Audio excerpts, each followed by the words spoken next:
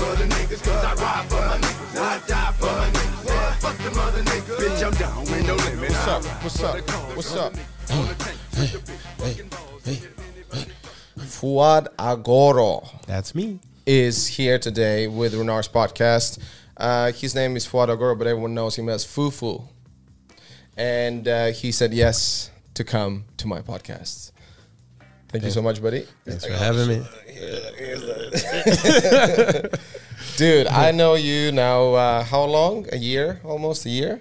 Maybe even a year. I think a year. Yeah. We met in the gym, and the only reason we started actually hanging out because we love to dance in between uh, doing pad work and doing stuff. And that was like I love that that connection straight away. Like, oh, you like to shake it? Oh, I like Yeah. to shake it. Let's shake it. Especially when you're not supposed to. Yeah. I think that's what makes well, it. it's just like no one gives a fuck. Yeah, yeah, not yeah. supposed to. This is the time you don't allow. It's not allowed to dance. Because everyone's like all focused on a fight and defend for my life, and we're just like, yeah. I'd rather be dancing. um, yeah, and it's it's all about good vibes, about good energy, and also if you hear good music, you know, it's a part of warming up. It's part of just being in a good mood. Yeah. That's what I say. Energy for real. Fuck yeah.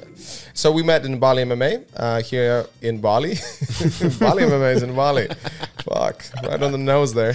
Um, and um, so Fufu trains like just a madman. I remember the first time I asked, I asked you, so what you gonna do now? Muay Thai, and then you're gonna do BJJ. And what are you doing then? Oh yeah, then I can do legs. Yeah, that, yeah. I used to squat six days a week Jesus Christ. after six hours of training or three hours of training. so no one could say like, oh, dude, you're skipping your leg day. nah, it was six days. But Took even- one day off. But even even though you're like you know uh, your genetics don't really allow you to get big calves and whatever shit, but uh, but the booty is probably fine. yeah, yeah, yeah, it's not big, but it's, it's shaped. Nice. What was the reason why why you were like doing squats so like intensely? There was some kind of a purpose for it. or- Yeah, so it was kind of a continuation. So I got to Bali this time. So I've been to Bali a few times, but I got here the last time I came here, Christmas Eve 2020. And right before that, I was in the States for a while. And um, I was with my brother Jabril, um, and we're living in Miami in this place. And then my brother's kind of a big deal to some people, and he's got some money, so he had a bodyguard. And Shout out to your brother. so my, his bodyguard is also my friend. Uh, Cannon is literally the strongest human I've ever like met in real life. Like guy benches like 500 pounds, squats like I don't even know how much, and like the way he he benches two plates is like how most people do the bar. Like mm. he's just like. So I was like lifting with him, and he's actually good friends with Mike Rashid. And Mike Rashid's one of the first guys I've seen on YouTube that really like inspired like my travel fitness journey, whatever. So it's like that whole connection. So Mike was doing like a, a squat for 30 days challenge. Mm, mm. So I was trying to do it, but like literally it was in between like we're in Miami one week and New Orleans the next week, and I was in LA a few weeks after and stuff. So like I did it. I did maybe like 20 something days out of 30 but i was like nah that's not cool i gotta actually go through with it so i actually wanted to continue it like once i got to bali but mm-hmm. yeah so i did i mean i actually did i think Yeah, i did yeah, it yeah. for like three months or so But Like, you're not squatting anymore. nah i now i squat like maybe once a month Really? what happened? So what was the main difference? Is it because it's too much for Muay Thai and BJJ? Um i don't For some people, it'd be just enough with one of them. this fucker goes like, "Oh, I'm gonna go. It's, Muay Thai is a warm up for me uh, before I go do BJJ." yeah nah for me it was actually like i started to feel it like in my knees Mm, Like- shit. at night, I would like literally like feel like I couldn't really bend my legs all the way or it hurt. like my muscles weren't I sore. think, I think the best part is when you're like, I don't know what happened. you did squats fucking five, seven days a week. That's what happened, you dumbass. This is me. Like, um, I had a massive back spasms about three, four years ago, and I thought, oh, maybe like slip disc or some kind of bigger issue. I went to the see my uh, physio, and he went through and checked everything. He's like, no, you, you don't have any like, you know, problems there. And he's like, how often do you train? Oh yeah, like seven days uh, a week, twice a day. Like five hours every day. And then he looks at me, are you like an Olympic team or something? I was like, no, just, you know, for stunts, we need to do different kind of disciplines. Yeah, you cut that shit down, man. so you're not doing massage, you don't do any recovery. And then you're like fucking 36 at the time years old. What Yeah. do you think? What do you think is going to happen? Yeah. And then I just dial it down. And now I only train in the morning. I don't train evenings anymore. Mm-hmm. And I straight away saw the difference. And, and. Yeah. now I do all the recoveries and massage and all that shit. Yeah, that's true too. Because I was, I mean, I was getting massages every once in a while, but I wasn't doing any type of ice baths, Mm, like at all. And yeah, it was like, because the thing I thought I was good because my muscles didn't get sore, my legs didn't get sore, so I was like, yeah, I'm fine. Oh, okay. But it wasn't until like two and a half, three months down, I was like, kind of hurts to walk at night. So I'm like, mm, Yeah. probably, probably need to chill. But also, like, dude, like the amount of hours you would be training then, that's like five Yeah. hours. Yeah, like literally Four or start five hours, isn't start at 9 a.m., finish at like, like a little after one, maybe a little before two. Yeah, that's insane. Weirdo. Uh, yeah, and then th- that's when I thought, like, I thought I'm crazy. No, yeah, I meet some crazy people here. Um, okay. Uh, journey with uh, well, well, with the Bali. So you've been here now. You said you arrived in the Christmas of 2020, right? Yeah, Christmas so Eve. Yeah, 2001, 2002. So you've been here about two. No, it's like but a little over a year. Yeah, over a year. Yeah, yeah, yeah, And what was the reason? What happened? Um, I mean, because I've been I've been traveling since 2013. Pretty much, I want to say traveling. I've been living abroad since 2013. So I generally like stay in a place for like six months or so, maybe a little bit shorter. Um, and yeah, so I was like inspired from my travels, like from my brother. He actually brought me out, and like pretty much I was traveling with him up until like 2018 or 19 or so, and then lived in Thailand. And then I was in Thailand like the beginning of the pandemic. Like I was literally supposed to move to. I was gonna move to Mexico City with Anthony, um, so my, my boy Anthony, um, and my other friend Arnold. Um, we are supposed to move to Mexico City like in March 2020, but then that little virus thing that happened. Oh, what kind of virus you sp- speaking of? Yo, you know, legit. I was in I was in Vietnam when it started. Yeah. So like Viet like Vietnam, like the north border of Vietnam is China. Uh-huh. So it's like they took that shit serious, and that was like late October, early November. I remember I went down to to use the pool. I wanted to get a drone shot of me at the pool because I was shooting like some fitness video, and they're like, "Oh no, sorry, pool's closed." I'm like, "Why?" They're like, "Oh, virus." I was like, "What virus?" and I'm like, "Oh, just clean it, then I'll wait." And they're like, no, no, no, open tomorrow. I'm like, what? Close the whole day for this virus thing? Like I was outraged. Like you close the pool for a whole day for a virus, and then like two days later the gym was closed. I was like, nah, I'm not having it. oh shit. and then yeah, then I started to realize how serious this this virus thing was. Yeah, because you were you were in Vietnam then at the time when the the, the, the whole Corona. yeah, so yeah, it was literally like I like late um 2019. Yeah, late 2019 I was there, and then went to New Zealand um for my boy Nate's uh, wedding. Nate and Hannah they got married in New Zealand. Shout out to boy Nate. Yeah, Mount Maunganui, the goo. Is, Um, the, is the wife hot?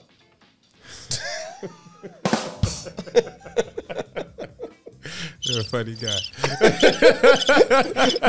Crick, crickets say the same thing.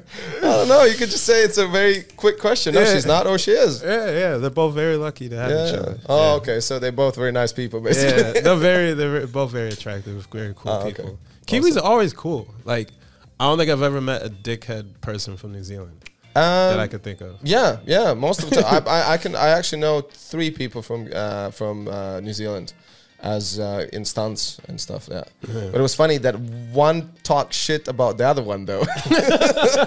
They're like really nice, but then Yeah. then I said when I went to another Kiwi, I was like, oh listen, I met this other guy. He's super nice. We worked in Vikings, and he's like, oh yeah, he's uh, this and that. And I'm like, okay. Like, I'm the better Kiwi. Yeah, and then I took a selfie and I sent to my the other friend. I was like, "Hey, who says hey?"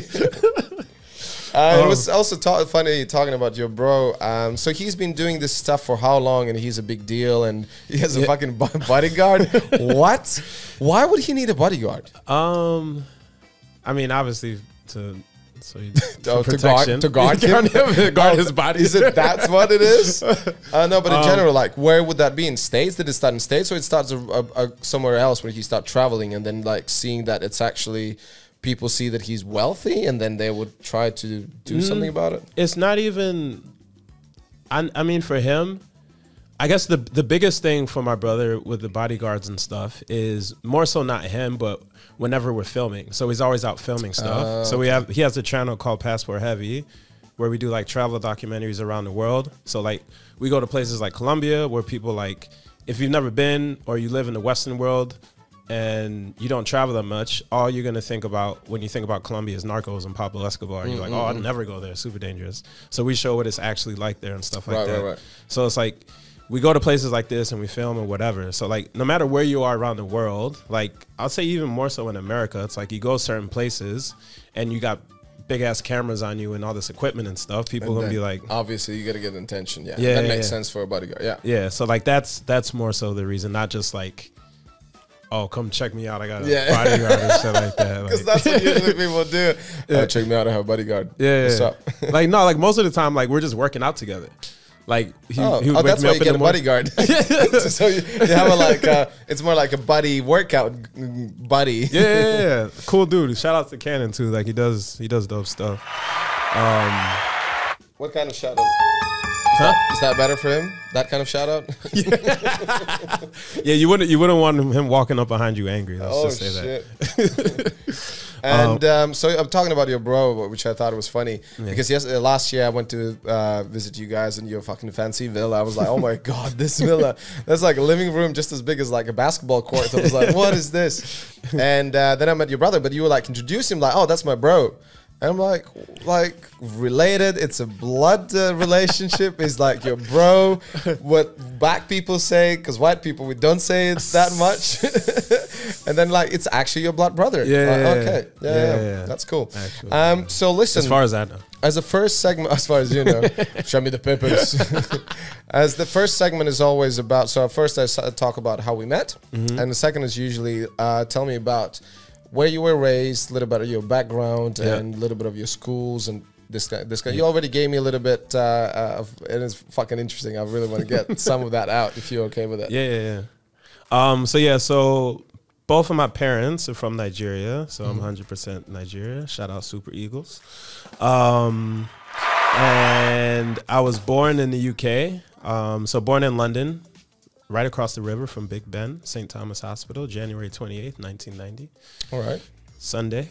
Oh shit! Don't know I the don't time. that much of a detail. I don't just like how big was your foot? How what was your weight? Yeah, I was um Healthy Nigerian boy. yeah, I was blessed to to say the least. You know Oh my god! I thought you already settled down, man. Like Yeah. Um, but yeah, so I, I was born in the UK, lived in the UK until I was six. So when I was there, I lived with uh, my foster parents. So me and my brother lived with my foster parents in Portsmouth, which is like two hours south of the UK. My parents were living in London, so they lived like two hours away. And it wasn't like a, a big foster home. It was literally just me and my brother. And it wasn't like a sad thing where it's like the stuff you see in the movies where there's like a hundred kids running around. Sir, I want some up each other. more. Like No? nah, nah, nah, nah. It's not like like bitch, bring me some cereal. I'm I'm ready for cocoa pops. Yeah, it's like so we we had the love and stuff. It's not like we had a lot. Like we had more than like we ate food every day. Like we're cool. Like and all that stuff. We were safe. Like we had pretty much like a normal uh life i would say like growing up. And then my mom took me and my brother to chicago. I was almost six years old and my brother was nine years old. And yeah that was that was a big switch because it was like going from living with this white family in the UK to living with my a- actual African mom with her like uh forgot if it was her brother or sister, but basically with my auntie and my uncle in mhm. Chicago in this cold ass place. So it's December, like, and if you guys been to Chicago or been in like New York and stuff like that in the winter, you know how cold that is. So I was just like confused. I was like six years old. I'm like, why am I in this cold place? I thought I was going to Disneyland, Disney World, and we're just like sleeping in a room but like four other people, and yeah, it was it was a bit confusing, but And I think it's just to give a little bit insight for our listeners and those who's going to watch this, because you were telling me the story before that, and I was like, wow. So your mom, your real mom, she just like, fuck this. I'm taking my boys and I'm getting the fuck out of here. Yeah. So which meant like you, the foster parents were like, what just happened? yeah, yeah, yeah. And uh, what was uh, what was your dad's reaction? Your real dad's reaction? Did he? we didn't know because we didn't talk to anybody. we didn't know Wow. until way, way after. But yeah, after it's like everyone was yeah just worried about us and shocked, just like damn, like what happened? and Where are they? Are they safe? Like Yeah, yeah, yeah. just yeah, just like imagine like you raising some kids and then like you're like oh they're gone on the weekend they'll be back on Monday. Next Monday comes, next month comes, next year comes, and you don't even hear anything, and you're just like, "Oh shit!" And So- in those days, that's like you would have a WhatsApp group for like all the, all the people involved to raise these kids. Yeah, like the real parents, foster parents.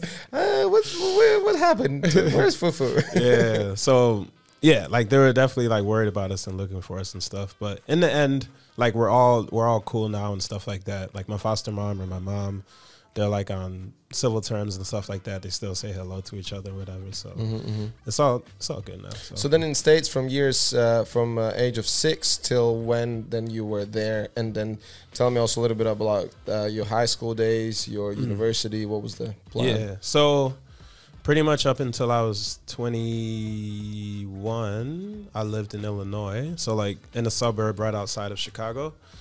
And yeah, I love video games. Like I don't know if you guys can see my nails, but I literally have Dreamcast, Xbox, Game Boy, and PlayStation. Oh yeah, in that camera they can see very well, so you can just Okay. show that. Yeah. Yeah. So There you go. Yeah. especially like that. Especially if you show like that. That's fine. but it's upside down. oh shit! They didn't do this. Like, uh, I'm. I love to play games. Um. So yeah, like growing up, like, so I was I was born in 1990. So I'm like, it wasn't like there was technology out, but it wasn't like now where you got like fucking AI and teleprompters and vacuums that clean themselves and stuff. Yeah, I Like, was born in you have to 98 press I was born in and 1984 in a Yeah. fucking post-Soviet Union country. So shut the fuck up. so it's not like we had like drones all the time, you know. I mean, we, we had to press buttons, bro. That's I literally my first TV when I was like eight years old, nine, no, like what years? Thirteen years old. The one I was using for watching erotica because we didn't have porn, which is very important for a, a, a new uh, a teenager development. Uh, obviously, I literally had to do this. And it was like white and black, and you had to sit on a uh, like hit on the side. So it, this, and then I remember my mom would actually catch me watching fucking erotica like on Saturday nights because that was the nights, and it was like German or Italian. Every time now I, I hear someone like saying it's like in German, oh, this is good, y'all. I just like go fuck. it's like getting semi in my trousers. Um, and then what I did because I didn't have a remote, I took a cable and stuck under my pillow, and so as I hear my mom come come to open the door, I just like click. and, and then and I try to do it right when she opens the door, so it's like turns off and she knows it was on. Yeah. And then she's like, "What the fuck?" What you- uh, uh?" it's like what? Uh, Nothing. Uh, yeah. what about that hard-on ding dong? Oh no no no, mom. I'm young. I'm still developing. oh shit. Okay, yeah. So the computer games. Oh yeah, yeah, yeah. So like, yeah, I love playing video games. Obviously, when you're in the house, but I wanted to be out the house as much as possible. Mm. So it's like always like whether it's like playing tag or climbing trees or just playing basketball, football. And when I say football, I mean American football, the real football. The real football, obviously. he already said that before. I said to him, like, I used to play football. I was like, you mean soccer? Even though I'm from the UK. Yeah, such a stupid name as well. Soccer. You So- you lived there till you were six years. It doesn't Uh, count, man. I was born there. I was born there. But yeah, so I, I love to be outside as much as possible. But obviously, whenever you're grounded or it's dark out, you can't be outside. So when I was in, wanted to play video games, and then yeah, so like in school, I mean, who who really likes school? Like. I don't. I guess some some people do. Like the parts I liked about school was obviously being around my friends and stuff like that. Yeah. There's some stuff like creative stuff I enjoyed, like whenever we got to draw stuff or like build stuff and all that, whatever. But one thing I absolutely hated was homework. Like with a passion, I hated it. I'm like, why I got to do this shit at home if I got to do this shit when I go there? Yeah. Like I just didn't understand that. Um, and yeah, so like at school, I was like, eh, like got by and stuff like that. But sports, gym was always the best. Gym and lunch, my favorite times. So what are the Oh. main sports you did as in high school was the is American football and uh, basketball. Those were the two things. Nah, I.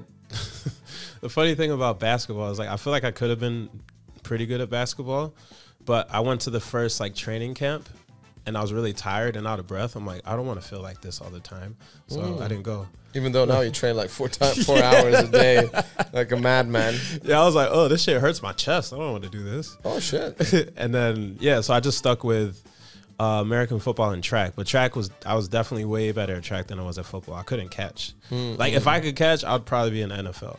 All right. But like yeah, I I couldn't catch. But if you if you would train and you would actually be passionate about it, you probably would be fine. Yeah, It's like- just the thing is like you just it didn't really interested you in that sense. Yeah, I think I think I just had like uh my perception was like either you're like really really good at something right away or you're not. Uh, And I thought it's like I didn't know people fucking train every single day at stuff. Like work really really really really hard to get to the point where they're at versus like I just cuz a lot of stuff I was naturally good at like track.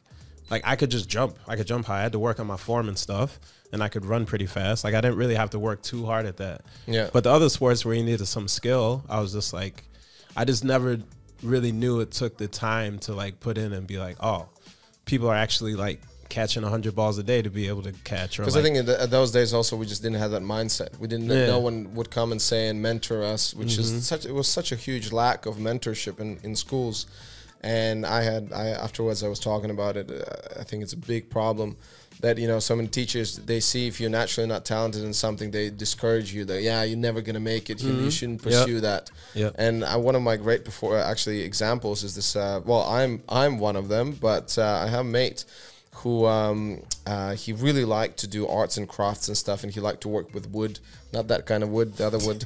and uh, and uh, at at this arts and crafts uh, class, his uh, teacher just uh, like lost his shit and, and said to him like, "You're never gonna make it. You still you, you don't know what you're doing here. Just give up," kind of thing. Now the guy travels the world and does beautiful arts for uh, setting up stages for crazy.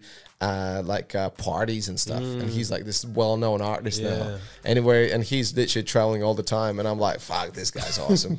And for me it was very similar. I was like i wanted to study business. And to, to get in a business university you had to get a good math right? And my Yeah. math was kind of average. Yeah. and i remember my teacher was like you're never gonna make it. Like look at these other kids who are gonna go now for, for business as well. They math is way better and they probably even gonna struggle. So like fuck you. So what i did i did this intensive course and i got pretty decent and I got in and I was much higher than all my rest of the guys and then I went back to this teacher and was like look at you Yeah. bitch but a lot of things I would say I would I was doing just to, in spite of something or Yeah. someone Yeah. which is not the best thing because uh, I, I pretty much wasted seven years in that university I did my, my bachelor's did my master's I definitely didn't waste in the sense of that I met a lot of cool people because there's like a lot of those like lost souls that I didn't know what the fuck they want to do with their lives yeah.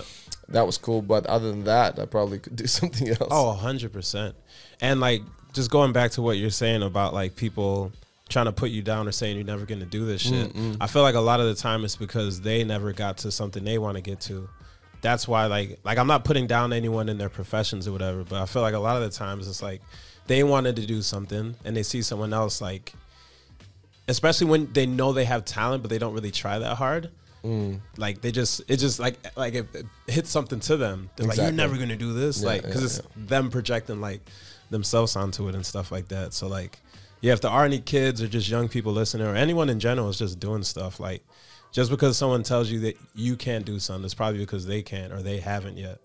So Hundred percent, hundred percent. And now it's we li- live in a very amazing age now when, and especially being in Bali here, we always find meet people who encourage each other. Oh, this is what you want to do, man. Yeah, and they give you these like, oh, you should talk to that person, talk to this person. Because I'm getting mm-hmm. now more in like creating content, and before I had this just kind of a.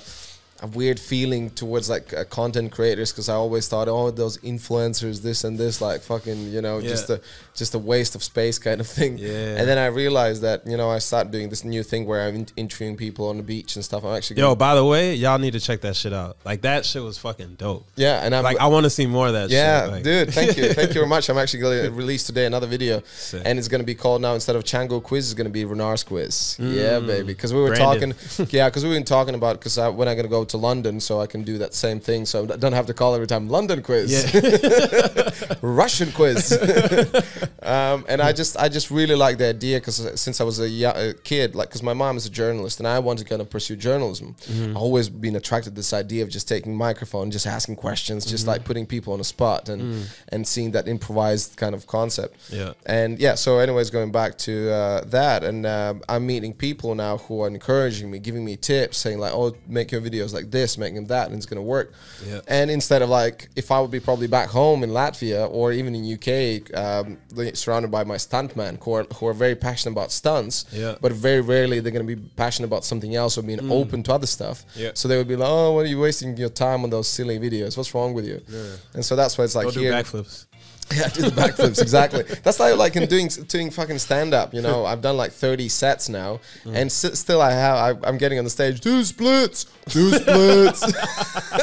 Because my first sets I did, I was doing like the split thing, and I was like, ooh, splits. Was like, oh baby. Uh, but still, you know, you kind of understand them. Like how many Yeah. comedians you can see like coming on the stage and actually doing splits. Like, Yeah. oh, fuck it. It's like when you know like a musician from their one song, and it's like, all right, you're playing all this, and you know what we want to hear. do, do the do the what is like uh, uh, the submarine. Do the submarine song. Yesterday, no, do the submarine. it's like I would ever be in a Beatles concert. um, so yeah, then uh, did your high school? What was the what was the steps? Uh, what was next after the high school? Um, so my my like goal, I guess like my, uh, I think in high school my goal was to be in the Olympics. Like I Alright. wanted to be Olympics for, like, for track and field, so like high jump, triple jump, and that stuff. So I just thought like, all right, I'm gonna go to a big university. I'm gonna do sick there. Then I'm gonna go to the Olympics. But again, back to what I was saying before, like I didn't really put in the time to mm, mm, be an mm. Olympic athlete. Like I put in the time to be a good high school athlete and uh average college athlete, but nowhere near Olympic athlete. Was there some kind of a lack again of mentorship or some kind of lack of inspiration? Oh yeah, hundred percent. It was like, like I had fun when I went to practice. It's mm-hmm. not like you can't have fun, but it's like I had fun, but I didn't really train hard. Right, like now right. it's like I go to Bali MA, I have fun, but I like every pad session. I feel like I'm about to die. Like I, I mm-hmm, put mm-hmm. all into it. When I was doing track, it was just like I was trying to do the very least, unless it was jumping. Like the actual jumping part, I was like, cool. But conditioning, training, all that other stuff, Oh yeah, because that's the most boring one. No, one- no one fucking likes that. yeah, so I was like, I don't want to do this. Like, I literally almost quit my sophomore year because, like, in the beginning, like the first few months, like all you do is run. Like, there's mm-hmm, no jumping, there's none of that stuff. You're just running. Like, I legit almost quit. Like, my coach had to talk me out of it. Right. So it was like that was kind of like my thing in high school. So it's like I kind of I was doing all right. Like I was still good at high school, but then my grades weren't good, so that like I couldn't pretty much compete my third year in high school because of my grades. Mm-hmm. And then so by the time it was my senior year, I had a year off, and it's like I was just off track. And like I went to like a junior college, which is like a smaller, it's like a two year college versus the four year university. Mm-hmm. So I went there, first year there, my grades were even worse. Mm-hmm, mm-hmm. so like I couldn't compete again. What did you study? What was the junior college about? So it's it's basically like at least where I was at, it's like a continuation of high school. You kind of mm-hmm, just The same Yeah. subject, just kind of more in depth and yeah, whatever. yeah. So you get like your associates or whatever. So usually it's supposed to take you two years, but it took me three years because I failed pretty much every class my first year. Um, and then yeah, so finally I graduated, went to this little school in Iowa called Ashford. Um, and Gave, um, gave them some cash, and uh, just yeah, pass. yeah, yeah. So I got I actually got a scholarship there, which was cool. Um, so yeah, I ran track there, did two years there in Iowa, met some really cool people, and that was the first time I actually got to hang around like, um, like Africans that were like my age and stuff like that. like obviously, besides my brother, but that were actually still in the culture. Because it's like when I was back in Chicago and stuff, like everyone I hung around, it was like I hung around a diverse group, but not really like Africans unless it was like my cousins and stuff like mm, that. Mm, mm. But I was like maybe once every few weeks. So this is the first time I actually got to like hang out with them when I started playing soccer, aka football and stuff like that. I started playing FIFA, listening to the music. So like I think like you said how you, you were talking about like you wish you or didn't say you didn't wish you go to university, but the biggest thing was like the the people that you Yeah, connected yeah, with and stuff like that. Yeah. Like it was the same for me. Um, so yeah, shout out to Juju, Felix, Namdi. Uh, Juju Jacko. Felix Namdi. I like the, I like the name Namdi. Namdi, uh. what's up? Is that a girl or boy? Boy, boy, boy, boy, boy. She- I should just say, is she cute? Is Namdi cute? She- you should be uh. like, she's hot. she's so hot. Aka Javid. Cause yeah, it was cool. It was like literally like so. My first roommate's Juju, so he's from Ghana, and his girlfriend Ashley is from uh, from Yakima, Washington. I learned about Yakima. It's like a little outside of Seattle. So that was like, yeah, just the first time being to hang like getting to hang around with people from all over. And like my other friend Java's from Jamaica. We had kids in our school from like Brazil and shit like that. So this was like my first time like really living because obviously like I'm living away from my mom and stuff like Yeah, that. yeah, so yeah. I'm really getting to interact and learn about like how di- different people live. And it's not like your mom says, like, you don't talk to that boy. You don't talk to that girl. And I'm like, oh, I can talk to everyone. like I remember literally the, the day she left, we went to this party, and like I was like talking to this chick, all super happy, just downing drinks and shit like that. And before I knew it, I was like back in my room, just fucking throwing up into like my little ass Walmart garbage can. oh my god, talking about that last year. Last year, I just see Fufu training hard as motherfucker, and I thought, oh, this guy, he's healthy. He's like this guy who just never goes crazy. And then I went to this place called Tiger. Is it Tiger? Like a secret spot, whatever the fuck that thing was. it's like it's like after two o'clock, it gets really dark, and you can't see shit there. And like to get some drinks or whatever. And I remember I was like getting a drink, and I just see someone in the dark. Fucking drunk as fuck and just like I was like that's fufu like hugging two chicks and like two bottles and each other's like what the fuck and then, then it was like okay so this guy trains hard and he parties hard Yeah. yeah That was another thing too, like kind of going back to uh, what I was saying before with like the training and squatting six days a week. Like I didn't do ice baths, I didn't properly recover, and I drank like crazy on the weekends. like every single weekend, I was getting wasted. yeah like and like, starting from eight o'clock in the morning till like fucking no, legit, like legit. I wake up with a beer. I'm I think there was one time actually I was saying so so when you guys starting and I'm like uh, I already started Yes. and like I drink, like I could probably finish a whole bottle of vodka, like if I start from the morning. so what what- what's the deal with that is that like feels like if you want to have that one day off you're just gonna go full on is that the Yeah, like I just, I don't know. I just, I just have a lot more fun when I'm drinking. Mm-hmm, So, what, what time do you say the crack's coming? Uh, what's coming? Crack. That's already here. I have it already. Oh, okay. You got the pipes. Yeah, I got the pipes. Clean I usually just snorted. Isn't that how you do the crack? Snort crack? No, it's coke, bro. Snort crack. You cook the coke to make the crack. Peter Piper Pecker Packer. What was that fucking thing? Peter Piper picked a pack of pickled peppers. Peter Piper picked a pack of pickled peppers. Pick the packer. Pick the Took the packer. okay, so one of our cameras died, and now we're back. So uh, with our second Back and segment. blacker than ever. Ooh, yes, always. Um, so we were talking about your your college. You're reminiscing of your people who you forgot. Who did you forget? Alex, Outrage K, Cavalli. Oh, and my boy, All American Kendall. So Kendall, Ed, I lived with them after. So yeah, first I lived with Juju and his girlfriend Ashley. Then I lived with Juju, Ashley, and Felix. And then before I left, I lived with my boy, um, yeah, Ed and Kendall. And yeah, that I don't know how to say this, but basically we had we had a lot of fun and we were were very relaxed half the day. We did things to make us relax. that makes sense. Just say No, if you no. were smoking weed all day. it's like weed or anal. I don't know. what what else can make you no relax? Homo, no homo, no homo. No homo. oh, you can have a anal with a girl. you never never thought about it? Well, I'm talking about with them. Oh, yeah. That's not what they taught in our school. There are different ways to do it, honey. And I will teach you. Um, okay, so this is the one of the videos we did together. I just wanna. I'm just itching to show it. This video was about gloves. Yep. Oh, this is the worst hand backflip I've done in my life. There you go. Beautiful. Beautiful. Um, yeah, so that's that's us just having having fun in the gym, and uh, oh, you're actually doing pads finally there. doing something serious. Okay, um, college, um, and then what happened then? Did you graduate that uh, two, two those two years? Uh, yeah, I actually did. So that was the probably the most. The biggest achievement in your life? Definitely not. But I mean, like on paper, people would probably say so. But like that was like the time I actually got the best grades. Like I was actually I had because I was motivated. This time, like if if you kept your GPA above like I think it was three or something like that.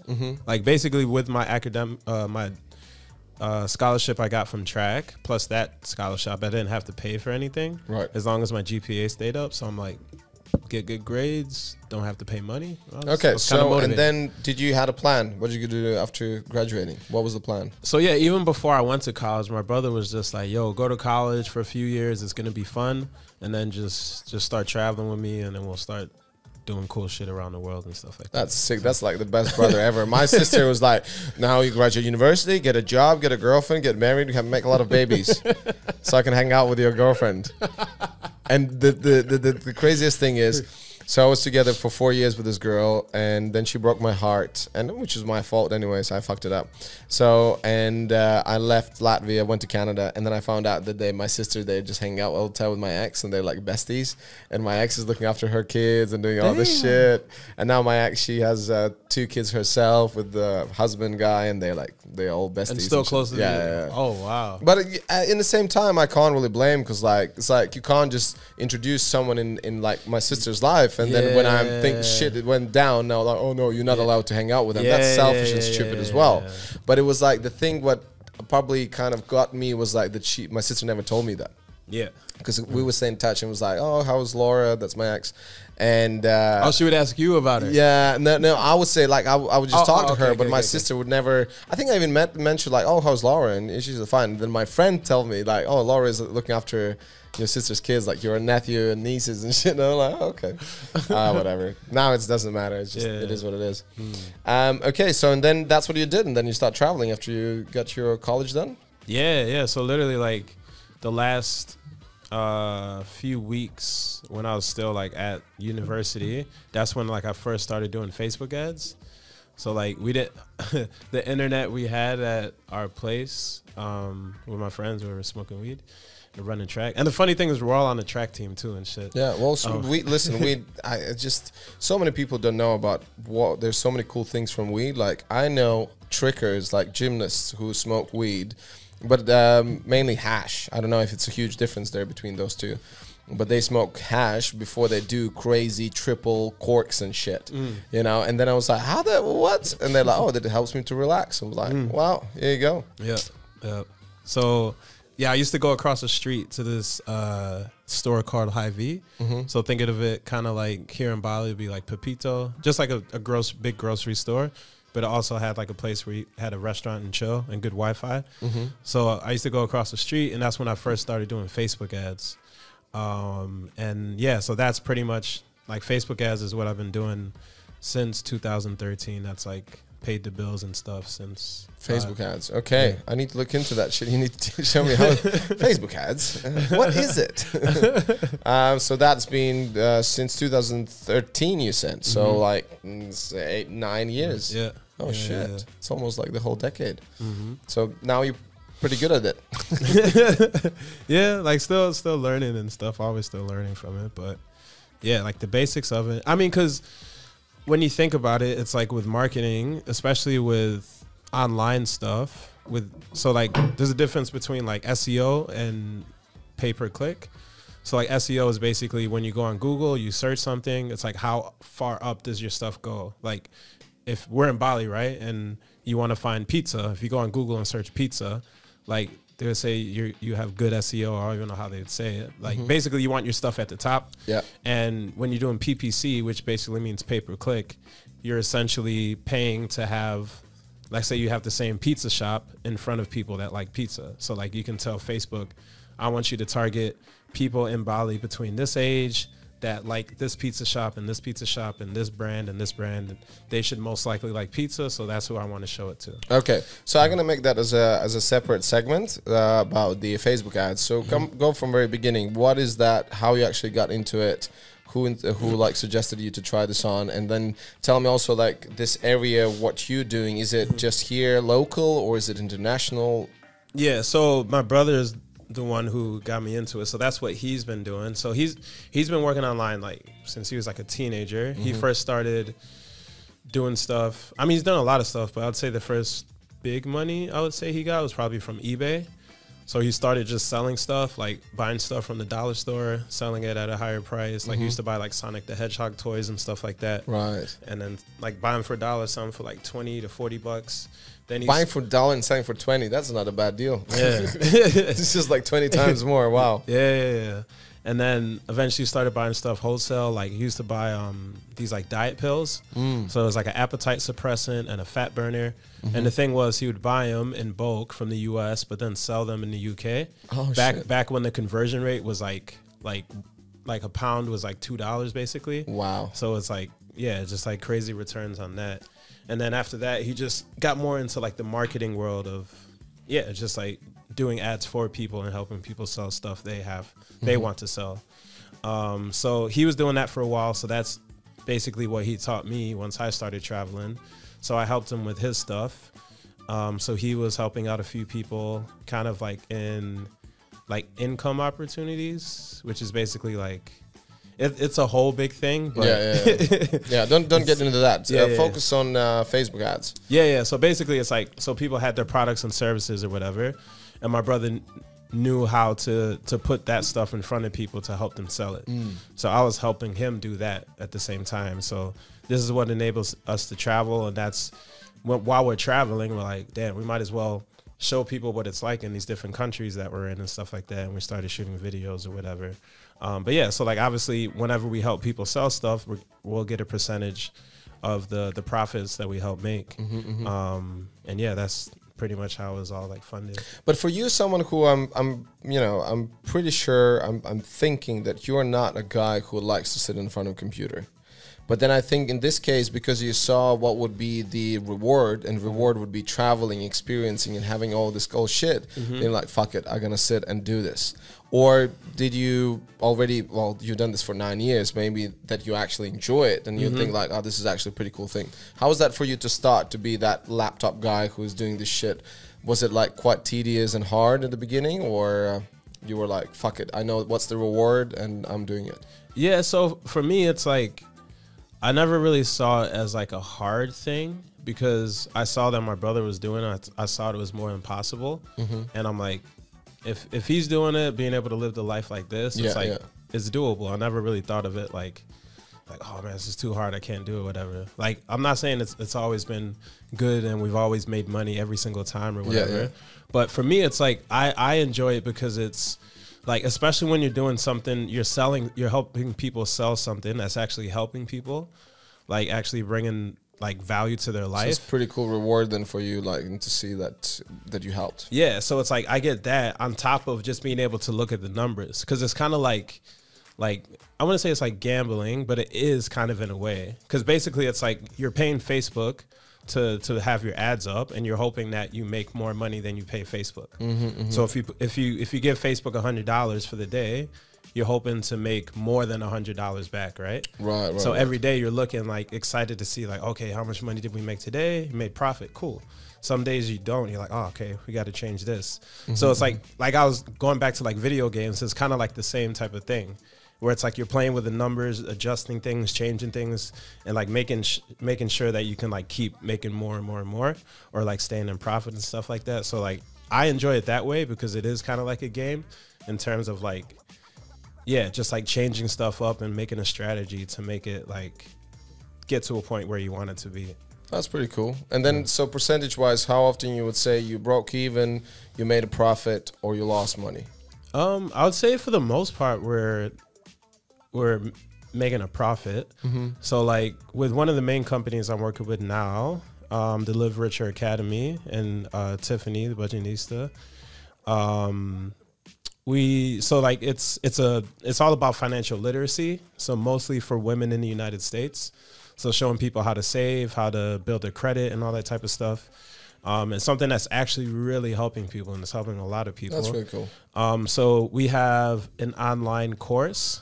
Um, so you can either pay thirty dollars for the month, or you can pay. So it's kind of like a subscription, sort of like Netflix or anything you pay for monthly. Yeah, yeah, yeah. Or you can pay for six months, you get a month free, and if you pay for a year, you get um, two months free.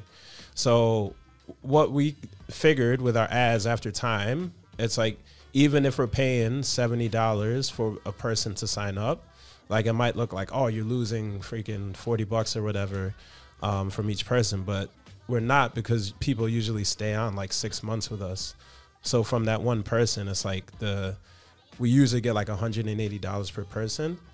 So like with that, it's like yeah, it's like almost hard to lose as long as as mm-hmm. because we're providing such a good thing. Because if it was, it would be one thing. It's like if you're if you're hyping something up to the point where it's like oh like people are like believing they're gonna get all this amazing stuff, and then they go to the actual product and they're like no this shit, this shit's garbage. Yeah, you It's don't like- want that. You don't want to. I mean, I've been working in sales and marketing many years. I even used to do door to door sales in fucking Canada. Um, I, I've sold windows. I sold, oh, you just name it.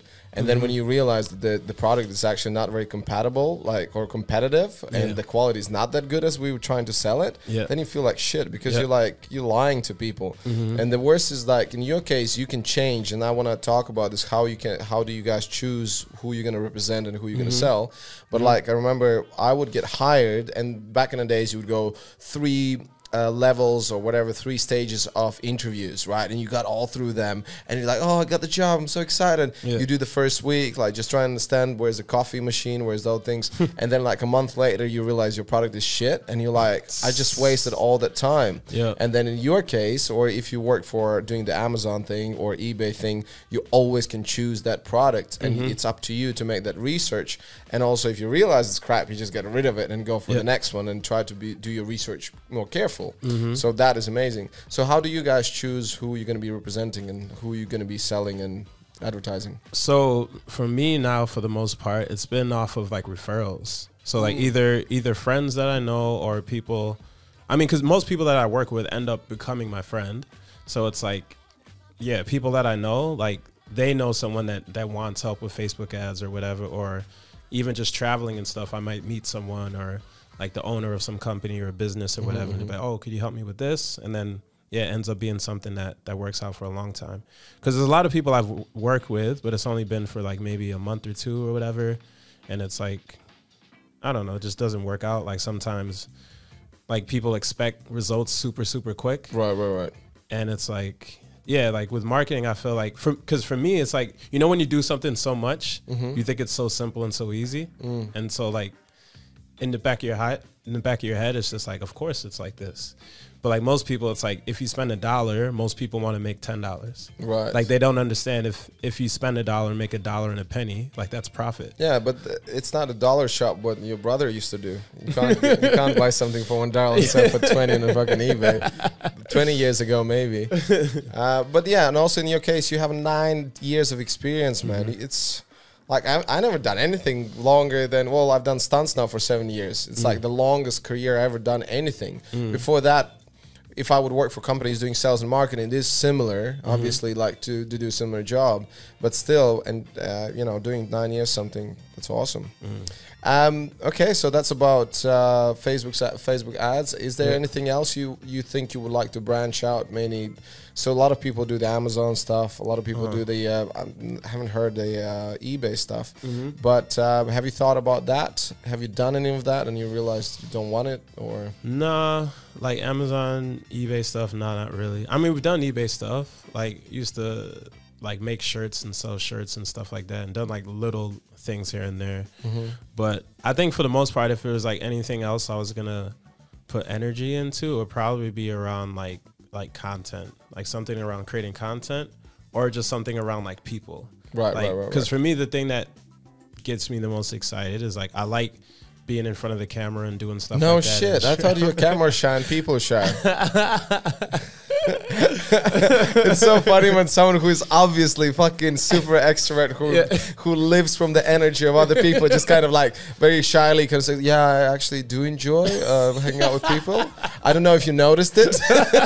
uh, last time we twerked together like in front of a bunch of random people in a gym. So yeah, it's like because like I I see it all the time and hear it all the time of like people like let's say they're doing something they love hmm. for a very long time and then they stop it to do something that's going to make a lot of money. They put all the time, the energy, the effort, they make a lot of money, but then they're fucking sad and depressed. Dude, dude, no, it's just no, just big fucking no. Yeah. And it's like every time when we talk about, and we're so lucky nowadays, we have like million of books, million books we can read about self development and all these things. Like you know, that's why I'm also asking always you guys who I have as a guest uh, uh, for what is your favorite book, and like I was literally just putting this fucking thing on on up, and I was listening out uh, out loud on the speaker, the the, the rich Babylonian fucker, and I I, I I listened twice Yeah. and it's like super old old kind of concepts but they still they're never like kind of gonna disappear about Yeah. all the slavery which we're gonna talk later. Um, but um, so yeah we're in this lucky time when we can learn about this. And then what is happiness? Is a lot of money in your bank account? Hmm. especially nowadays there's not even it's not like a golden thing in your bank account. It's just digits. You know the, the the bank crashes whatever it's gone. So you all your life you went through all this crap you didn't like to do and all you got it's it's it's not even there anymore. Or even Yeah. if it's there are you happy? Mm. so i think the biggest thing is to combine the things that make you happy and then still enjoy your life Yeah. you know? And that's why i started doing podcasts and having people who saying like oh dude you're not going to make money with this for a long time. I don't give a fuck. Yeah. like look at the energy the things what do i get from this you know? The same thing with the stand-up comedy. To make to be like a successful stand-up comedian to actually make a career dude you have a grind and you I don't think you're gonna make it living in Bali either. it's like That'd doing, doing t- twice twice a week in Ubud and in fucking Deos or whatever. It's like it's not gonna happen. But Yeah. You know, and and I'm very lucky. I can go do now stunts for a couple months. You know, also Mm-hmm. think I wouldn't say I'm super happy about doing it, but it is much more fun than sitting in an office. Yeah. Uh, Yeah, yeah, uh, Mainly, this is uh, related to big projects where we sit around for a long time. That's that's the only kind of downside for the stunt stuff. Mm. Um, and yeah, you're t- you're totally right. So, what is going to make you happy at the end of the day? Yeah, cause yeah, there's like a bunch of stuff I could tr- like. That's the thing too. I love to try stuff. Like. I definitely want to try different stuff, but it's like I don't, I don't know what I'm gonna like. I don't know what I'm gonna like once I try it. Like Yeah. I'm down to try a whole lot of stuff to. How's Like- your how's your crypto game and all that shit?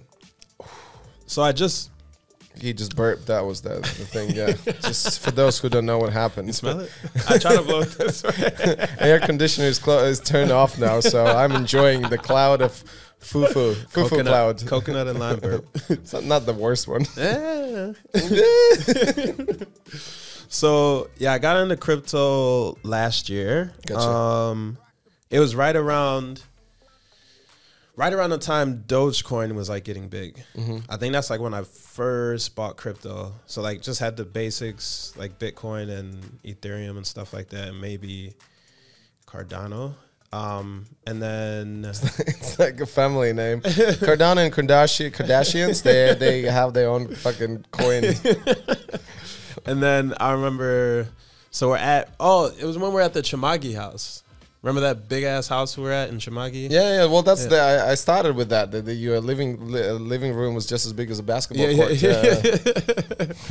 so like, yeah, we're at that house. Um, and I remember um, Elton was telling me, he's like, yo, Dogecoin, go buy it. He's like, what's it called? It's about to go to SNL on Saturday. It's going to go to the moon. duh, duh, duh." Oh shit, Elton John.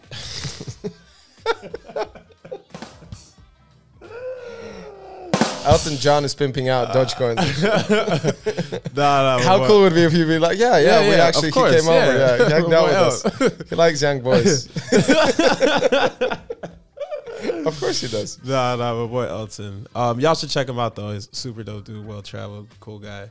Um, but yeah, he was telling me about Doge. He's like, yeah, go get that. And then pretty much after that, I just started watching YouTube video.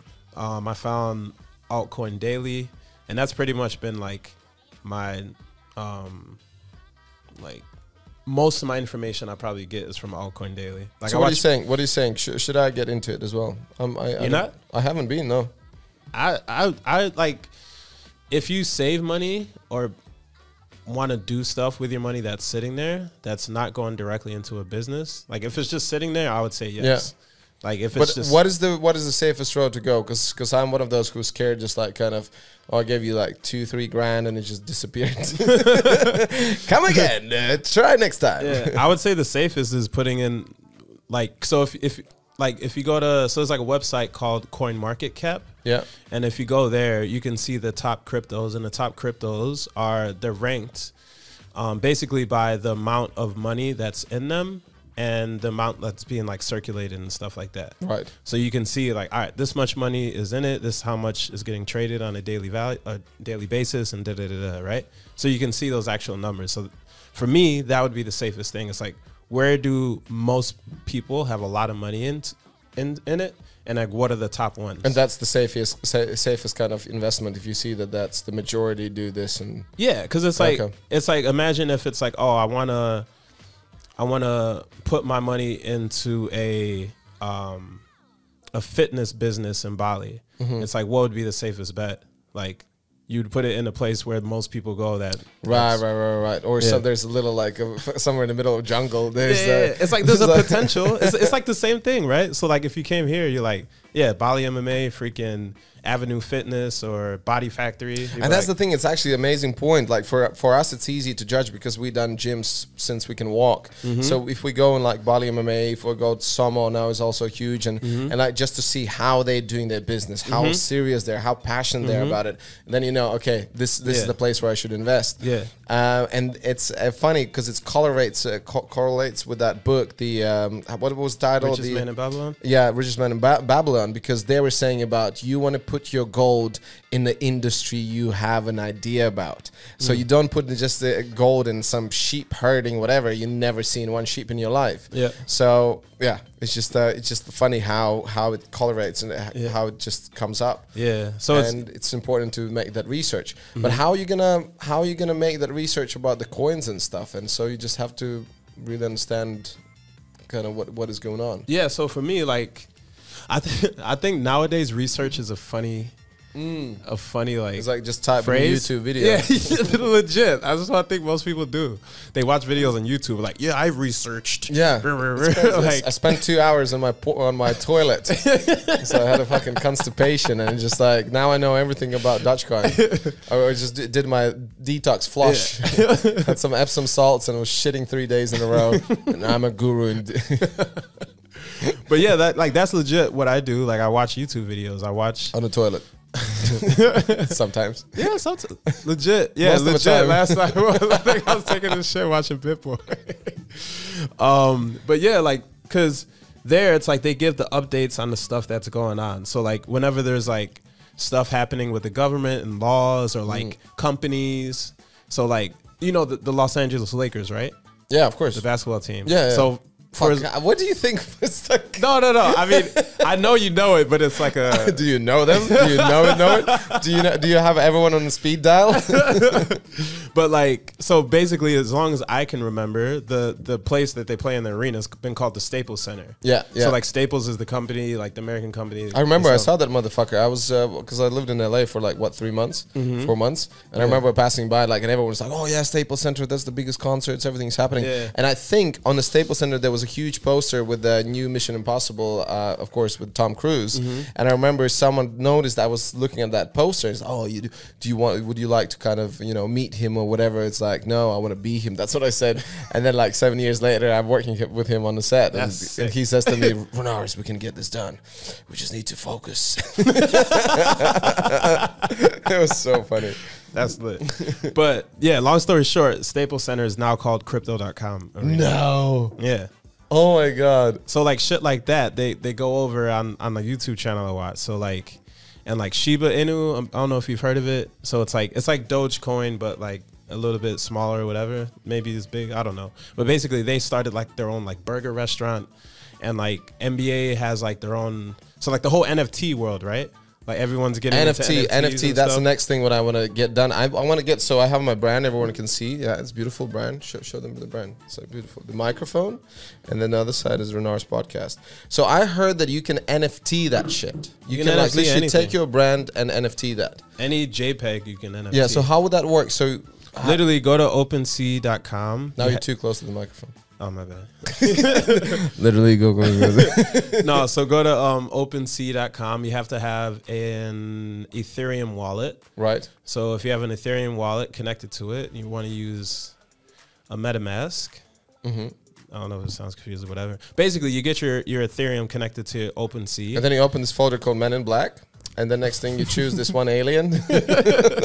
no, legit. Like you, you uh, up. You say there's basically some stuff. It's like create your NFT or whatever the hell it says. You create it. You set a price for it. Um, you can make a, a collection. So like kind of like the Bored yacht apes or whatever and all Yeah, that yeah, stuff. yeah. You can have a bunch of them. It could be one of one or one of five hundred. Okay, and then so you set a price. And then so now that's it. question is, let's say someone goes online and Mm-hmm. uh, copies this and uses this, like use my my brand. Mm-hmm. What's going on then? Like, and i- if I have, because like back in the days, or it's still no, it's still happening. You patent it, patent it, and then you like patent, uh, Mm-hmm. and then you pay this money, whatever, and then that's your property. So and then you probably s- make. Uh, sh- Take up like this a photo, approve that someone is using it Uh-huh. without your permission, without you paying the royalties or whatever those would Yeah. be. And so, would that work similar if you have NFT rights and shit? So the cool thing about NFTs is that each NFT has its own like individual number slash code. Oh, and if And someone is going to use it, it's going to pop up. Yeah, I mean, because you'll have to buy it from the person that had it before, so you can see each transaction. You can see how many times it was sold, Mm-hmm. and you can see the wallet address of each person that's held it before and what price it was sold at, and all that stuff. But the question is, what if, what if they want to use it and steal it, and then just use it without your permission? Is there any way to track? They that? would have to take it from your wallet. But what if uh, it's just posted somewhere online? They just go on my. They can use the same picture, yeah, Oh, okay. but it's not going to be the the The quality thing. and like anyone can go and like let's say the most expensive NFT, they can use the same picture and put it up, but it's not. People aren't going to find it. It's not going to be as search. It's not going to be under the same thing. Oh, So like imagine like if someone went to Beyonce's Instagram and Mm-hmm. reposted her picture on their Instagram, it's like this isn't Beyonce's Instagram. Like Right, right, right. you know, right. it's the same same type of thing. Okay, okay, yeah. Well, I definitely. I, it's great that you're telling me these things. I need to check check that out. And and when you when you hear people talking about it, you feel like old farts. You're like, what the fuck is going on? NFT? I'm still new to the whole thing. Like I've created one. I created one for my brother's birthday. Uh-huh. Um, for like it? Passport Heavy for like his travel channel stuff. But like I I'm yet to buy one. I haven't bought one. Yet we're at 30 minutes. Yeah, I like how you just don't- Don't worry about it. Okay, it's basically just one camera. That camera dies. There- There's on me, which is fine as long as we have the main one and that. Uh, we're about to finish uh, the second segment, uh, but yeah, this is this is a great info, man. And it's probably we should encourage all the people out there open their horizons a little bit, look into like cryptos and stuff because there's, I think there's just so there's so no trust. People still struggle to have that trust in some kind of a magical Bitcoin. Like, what the fuck is that? Like, where where did it came from? But if you do a little bit of research, Mm-hmm. like you know, like I don't know, three fourths of the world are are into it, and shit Yeah. is happening. And like, what you know, you have to open your eyes as well. Because you really got to look back. I mean, you don't have to do anything, but Yeah. I would say if you if you're trying to think of like why is crypto a thing, why is Bitcoin a thing, if you actually look at money, like if you Mm. if you go in your wallet and take out a dollar, like what is it actually? Right? It's it's, it's a piece of paper, a piece of whatever it's made of. Yeah.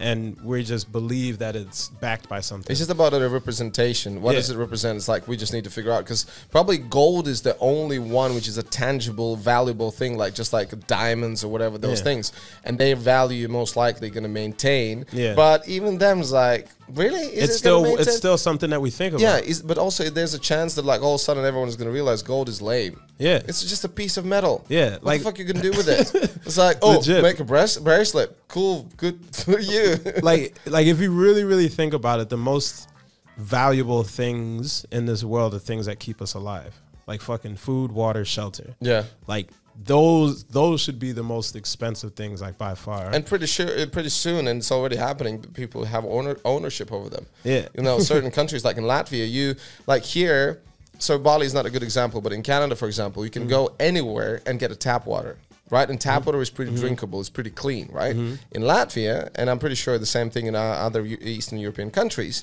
someone re- uh, decided listen we're going to make a cash out of this. So they basically announced internationally saying that tap water is dirty you shouldn't be drinking it Mm-hmm. it's bad for you buy our water in the plastic bottle. Spreads from the springs and the yeah, mountains. exactly exactly. That's the shit. And then obviously they did a little, little like research. Most of that water is just as dirty as like fucking fucking ta- tap water. Yeah. and which is just disgusting in a sense like like in in canada or i think I don't, i'm not sure in states was the same thing. So if you even a homeless person you go in a restaurant and, Mm-hmm. and ask could i have a glass of water? Because you're thirsty because you can die or whatever is happening. You go to try to do that in latvia they're just going to kick you out. You have to pay for this water. Yeah. How crazy is that? A tiny little country which is like supposed to be nice and everything but they're going to charge your ass from fucking for the water. Like even in bali you're going to get free water even though it tastes like shit because they're going to have like this like there's this place uh, just down the road, uh, superfoods, really ni- nice. Everything's fantastic. I ask them a glass of water. It's like, Ugh. and then and then like, like, can I get a nicer water? Well, sir, you have to pay for it. you want a nice water? you want a nice water? yeah. Okay, we finished with this. Let's get some nice water. It is so sweet. Yeah, so we actually just uh, did this Sunday amazing trip. We did uh, volcano. What was the name of volcano? Uh, Black Lava and Kintamani. Black Lava and Kintamani. So the best part of this uh, trip was that um, the equipment wasn't very sophisticated. So Fufu had to wear fucking rubber boots, and that Wellies. I was wellies. I was dying, man. I was literally. I, I've never seen anyone riding a motocross with wellies. It looked, like, it looked like someone just escaped from the farm and was like, "I'm just in the middle of doing farm work." And then our uh, buddy, he was w- wearing his just shoes, his Yeah. like sneakers, and they fell apart. Yeah. I was like, what? and and this is one of the only times when I'm so happy for my size, for my height. it was like a pretty big for Indonesians, but I still fit in. Fufu looked like he's a strip stripper or something. Like the trousers were just so tight. Um, and so talking about the travels and stuff. So I'm I'm looking at your Instagram right now. Uh, what do we have? Oh, we have Tony here, man. Shout out to Tony, man. IG. Yeah, shout out to Tony, and, and he's the he's the OG of creating content and everything. Like, and Yeah. and Tony was just going through, some crazy shit time, but he went out like a motherfucker. Mm-hmm. Now he's bold and scary, um, but yeah, he's dedicated. Yeah. Nah, that's my guy, bro.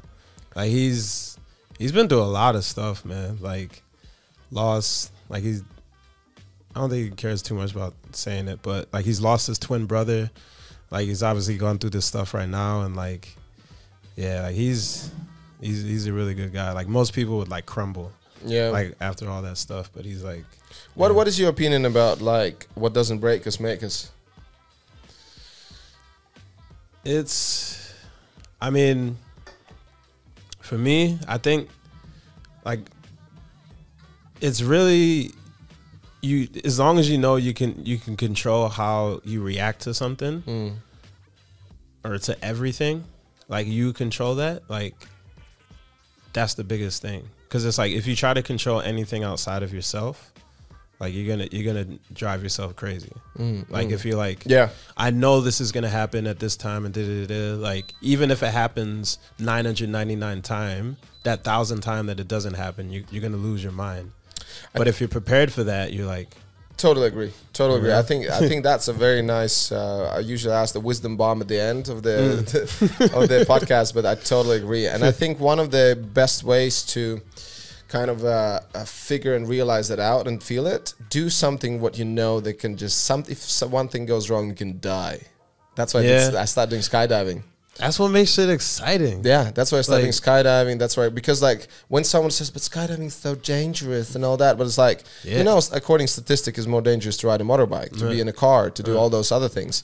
And um, but even though understanding that, I've seen that people have malfunction. I've seen like close calls. I've seen uh, tandem uh, where this lady uh, she was instru- she's an instructor who was done like three thousand jumps and uh, she was doing tandem, so someone was attached to her, and right in front of our eyes, the uh, dust devil took the. Uh, uh, it's like a little like a hurricane or whatever you call it, and twirled the uh, the canopy, the parachute, and she literally was falling down in the parachute like this, and the right, I don't, I don't even know, like thirty meters, it just opened, and they just just made it, and everyone on the fucking uh, like drop zone, they were like, shit.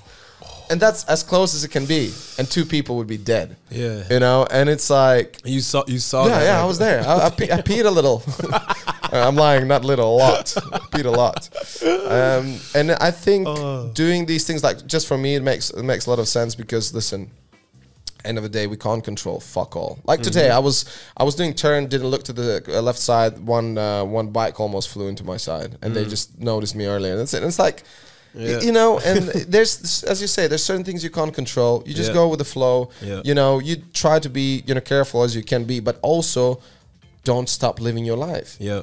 You know, Yeah, because the worst story is you all safe and all that, and you one day you come out of your apartment and a helicopter falls on your head. you know what I'm saying? Damn. It's like, but I had, but God, I had such a safe life. That was your time, buddy. Fuck, or someone chokes with food or something. I once I cho- I choked with nuts so bad. I had some dry nuts in my mouth. Not those kind of nuts. and I literally, I was like, I always, you know, I always run. Are you one- allergic or no, no, no, no. I was just like I was. I'm always running, and I don't have time to sit down and eat properly. So I was leaving my place in London Mm-hmm. uh, on the way, and I just grabbed this like uh, handful with like uh, it was like almond nuts uh, or cashews, and they were like super dry, and I just like chugged them, and I'm just kind of trying to swallow. Like, doesn't go anywhere. And thank God I had the bottle in my bag. It's just put and just pour water in, and then it's like, and I was just standing there in like dark, no one is around. I would just die there. How exciting is the stuntman who jumps out of shit, uh, rides two horses at the same time, and then just chokes with some dry nuts and dies? That's like the worst fucking obituary ever. Renars, Captain Latvia, died from dry nuts. Children, be careful. Oh man. Okay, we're trying to find a, a video. That that Thailand one's a Oh my video. god, look at you, BJJ smashing, taking first places. Oh yeah, by Oh, the way, this this one's pretty cool. which one? Which one? to the right.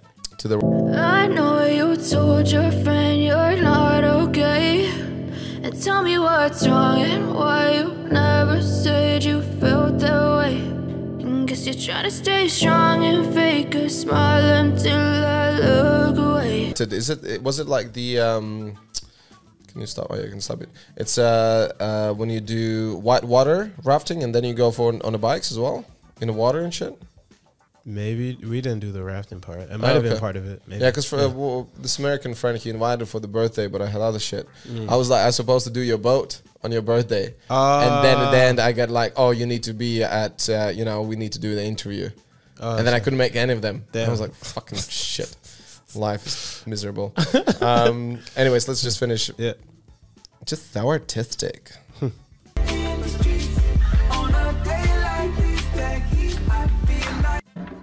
I was actually, I was actually very close for you to to to ask you to bring uh, cigars today.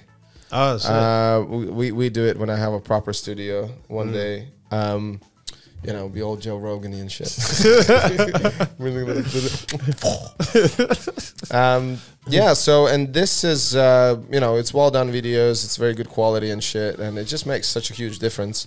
Um, and then with your brother um, as well. You could um, you could do a little video about you you and your brother. You can show him maybe to go to gym. You know, to, to do a diet. he's how much older he is? um. So like three years, basically. Oh yeah, three years. not, not too not too bad. Okay, what else? What else? Let's find another. Oh my god, you're breaking that. Oh, so just a fun one. That one in the green sweater. I was in, In the green, what sorry? down, down. Oh, this one. Yeah, Okay. I was in Sweden trying these freaking what was it? Swedish fish balls. Fish balls. I didn't know fish had balls. All right, that that doesn't smell so. I, I quite like the smell of that. I like the smell. of Oh, that. Tony likes any so smell. I'm the, I'm the other way around. I prefer this one. Yeah, like that's that's cool. This.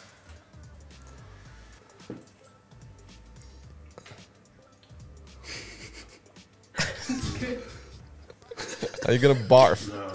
No is another one.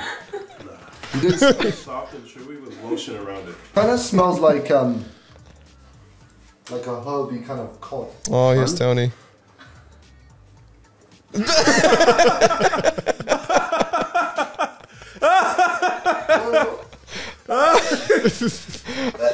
why, why they're disgusting? What's the what's the deal? It's all like fermented shit. Oh yeah, yeah. Some So people like- disagree with that shit. Like I, I'm happy with like kombucha juices, and I don't mind. Yeah, I love kombucha, but food, nah, rather. Not really. Have you tried really. fermented uh, uh, coconut uh, yogurt? Uh, they sell in uh, Bali Buddha. Uh-uh. I actually have it in the fridge. I mix them with uh, chia seeds. Uh, so when I was doing my detox, that was the first like a sweet thing, like dessert thingy, what I was allowed to to have. Is it like and it's sour? and it's a little bit soury. Yeah, it's not too much. But what I do, I cheat the system. I go I go to Ubud Kitchen and I get a fresh made smoothie and I pour it in.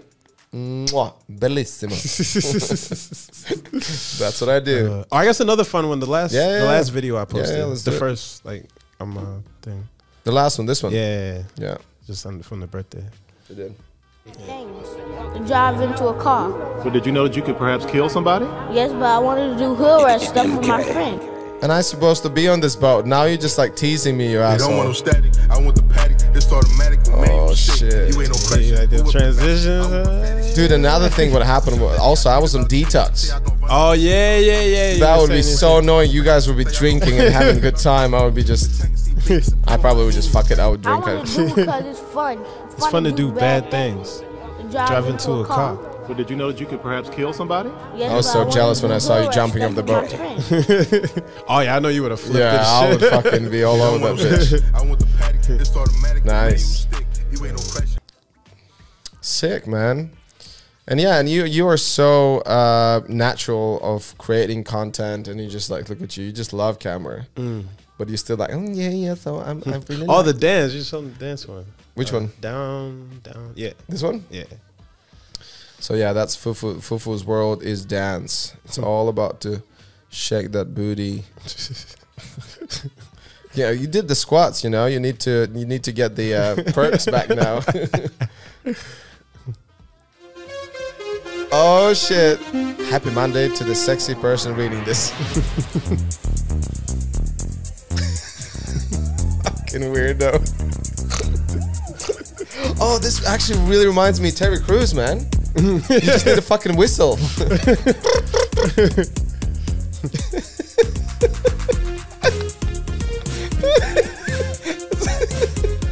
A little compilation from Jackson and shit. Give a little Jackson taste there. I love it. Oh, this is awesome.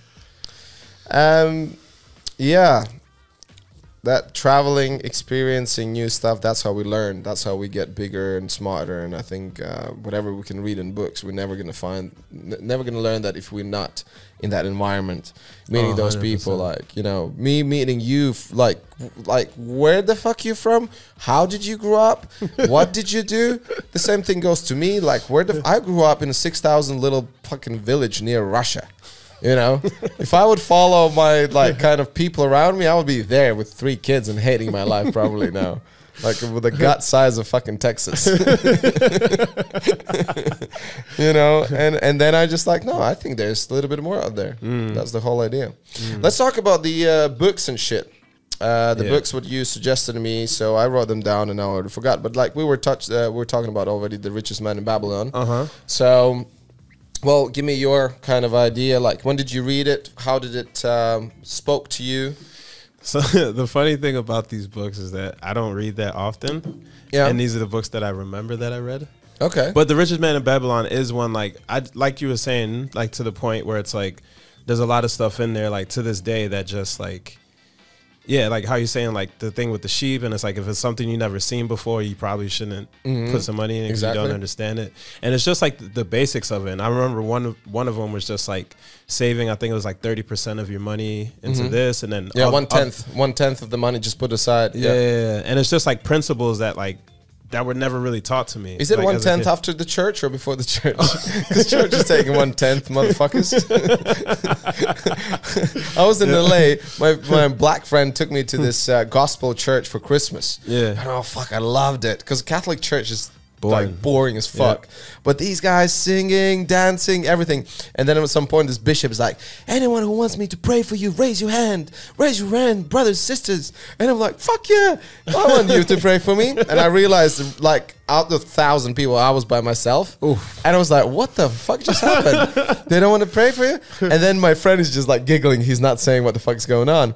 And then and then these the, these ladies they turn around. Oh, good job, brother. Well done. You know you you you're not gonna regret this. I'm like, what what did I just do? And then the, all those who raise your hand, come down here to sign up for church. and that's where you literally sign a contract that you can pay one tenth of your income. And I'm like, no, no, th- thanks. I just changed my mind. I'm- legit? Yeah, pretty much. so you're in a gospel church, don't raise your hand. That's just a lesson. the- Damn, I Yeah. didn't know it was like that. It's- well, it's, Like- there's so many different churches. Yeah, I mean, but damn. Yeah. So the richest man in Babylon. yeah, yeah, yeah, yeah, yeah. So like, yeah, like I don't remember. I mean, because I read it a while, a while Yeah, ago. yeah. But I just remember it was like the principles of it, just like, yeah, like the financial stuff and just hearing the stories and being, yeah, just like, just stuff that kind of makes sense, you know. yeah, yeah, yeah.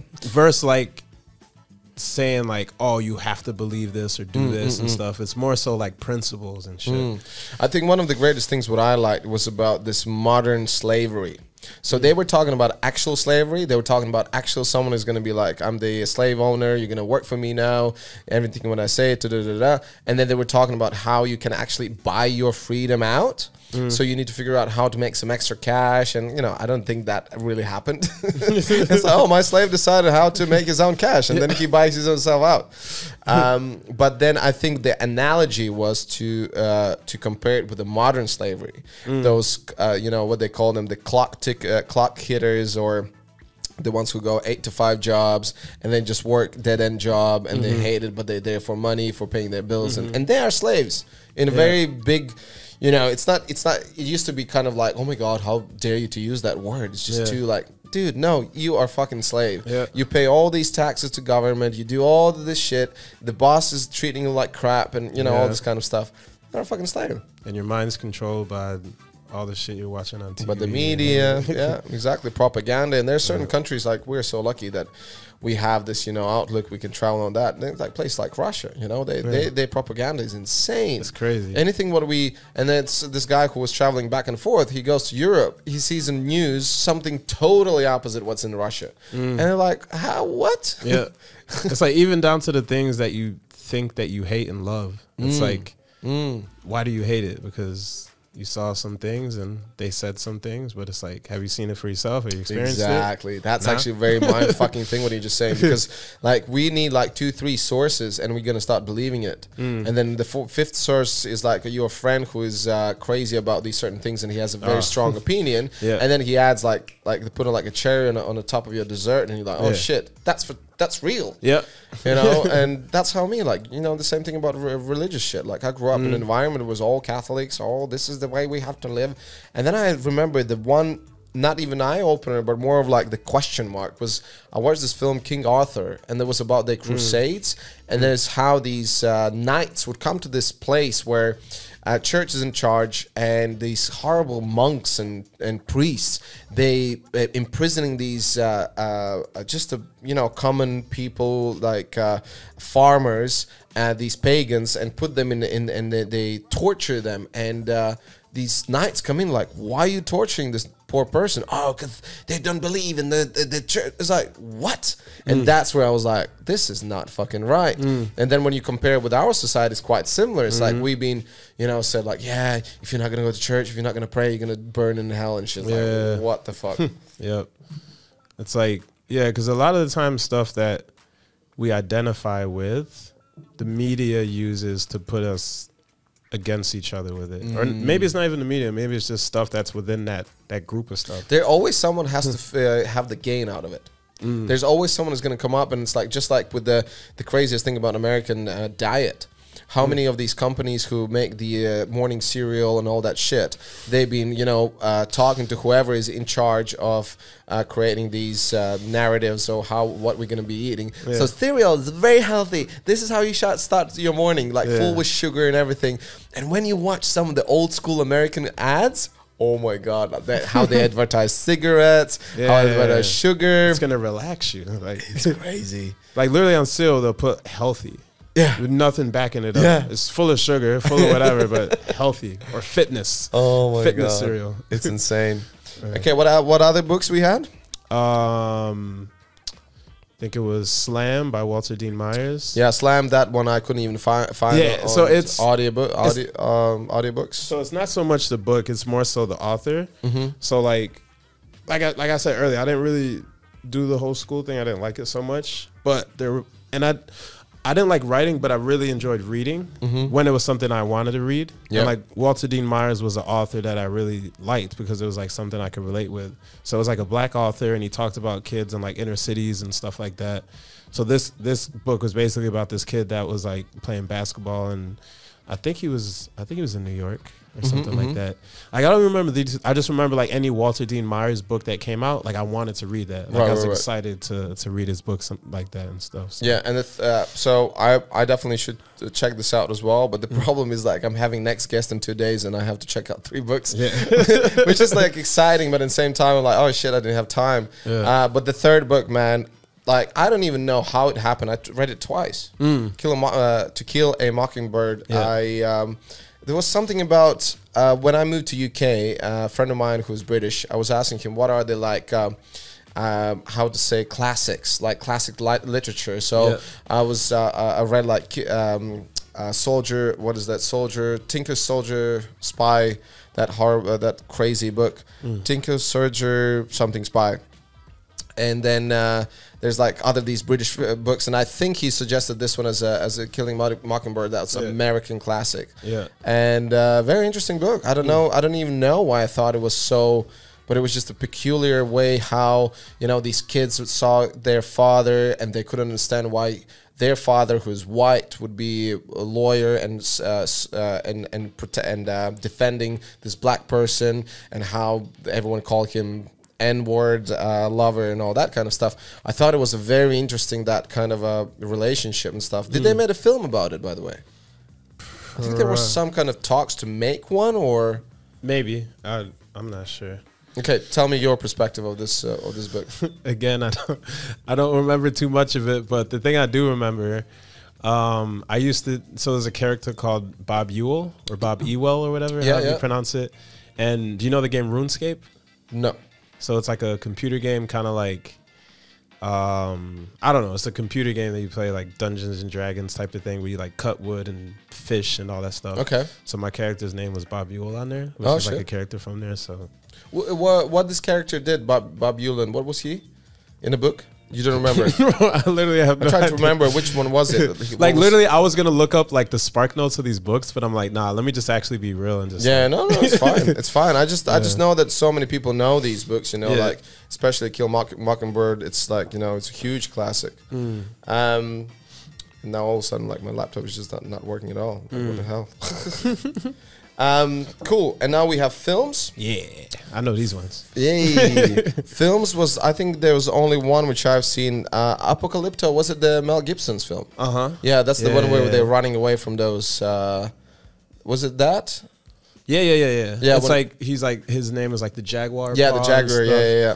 and like yeah, he's like protecting his family and like yeah, just the because that's that's one thing I really realized while traveling or saw while I was traveling is like most people are pretty much the same, like no matter where you go in the world. Mm-hmm, it's like we want we want to enjoy ourselves, we want to eat good food, we want to fucking party, we want to be around people we love, and we want our loved ones to be protected. Like at the end of the day, it's like no matter where you are, who you are, It's the same the values. same shit. It's the same values. Like you Yeah. might dance different, you might talk different, you might wear different fucking clothes or Yeah. say different shit, but at the end of the day, it's like the same stuff. And like, yeah, just just seeing that in Apocalyptico, like him just trying to protect his family and Mm. going through everything he did. Like he's like, this is like my jungle. Like Mm, I'm mm, protecting mm, mm, this mm. and all that type of stuff. But, like it's like like I could feel like the energy from it, like being like, nah, like this is this is me, this is my home, and I'm gonna protect it like with everything and stuff. So yeah, That's, awesome. That's awesome. You see, like that's that's why I love to give these kind of tasks and these books and films because I see your diff- like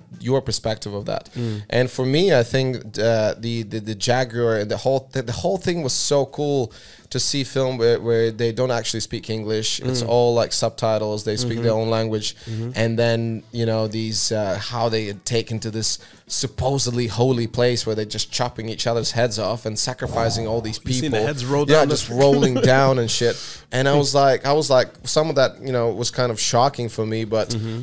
Uh, but yeah, in the end, he was like, "Fuck you! I can, I'm, I'm the. How did he say? I'm the, uh, I'm the something of the jungle, Yeah. or did, or he, did he just call himself Jaguar? Yeah, I'm, the Jaguar, Paul. Like, yeah, yeah. the son of something. and something, like something. From uh, kind of uh, cinem- cinematography's point of view and from like stunt point of view, that was a lot of cool stuff. I Oh. love that timing when uh, when this uh, jaguar, the human, runs through, and then actual jaguar just runs across, and the baddie's right there, and, he, and, and jaguar just jumped on whatever was closer. It wasn't like, oh, I'm not gonna jump on you. Yeah. And uh, yeah, it was. Uh, it's it's cool. Like Mel Gibson, man, one of my ma- favorite. Still, like Mm. as as much as he getting hate stuff from all the world for his. What was that uh, when he was talking shit about uh, this uh, this prostitute on the phone or something? Like, like he became very opposite to popular. Uh, Uh, but like Hacksaw Ridge, have you seen that film? uh-uh. Dude, have to check it out. Yeah? yeah. With the guy, uh, what's his name? The actor Garfield something. He was one of the Spider Mans. Okay. Yeah, okay, yeah, yeah, okay. the same actor. The, Yeah. Actually, my favorite Spider-Man's as well. Mm. Um, and so Hacksaw Ridge is insane. It's very similar, like Private Ryan. Very Yeah. similar concept. Mm, mm, Uh, but it's mainly focused about one person who's like just, and it's based on true story. Yeah. So yeah, check that out. Yeah. Um, okay, what other stuff we had? It was uh, paid in full. I think you mentioned it twice. Did you? I thought I put. Yeah, I don't know. It is my top. So Yeah, yeah. So what about it? So with that movie, it's it's kind of like a hood classic.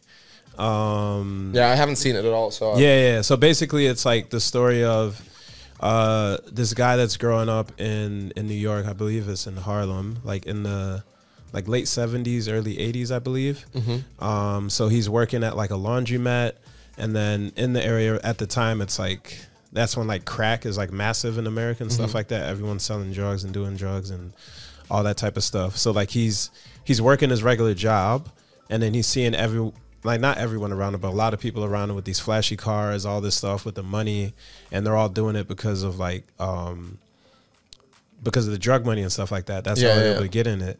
And the reason he gets closer to it is because his sister is dating like one of the drug dealers that's Right. there and stuff. And then so basically like that happens. There's some stuff with his sister and that dude, and then he finds like some cocaine in in the pocket of one of these guys that drops off his laundry, and then he drops it back to him. And he's like, "What do you know about this? Whatever, whatever." Then he slowly starts to get into it. Then he starts to build the money and all this stuff like that. And then like, but basically like the whole story around it was like, um, there's like a scene where it's like one of his good friends was already a drug dealer, but he wasn't. Mhm. And then his, uh, so he went to jail. The guy that was already a drug dealer went to jail. And then when he went to jail, the the new guy came up and he was like the big man, Mhm. like around it and everything like that. And then there was a point where he got shot and stuff like that.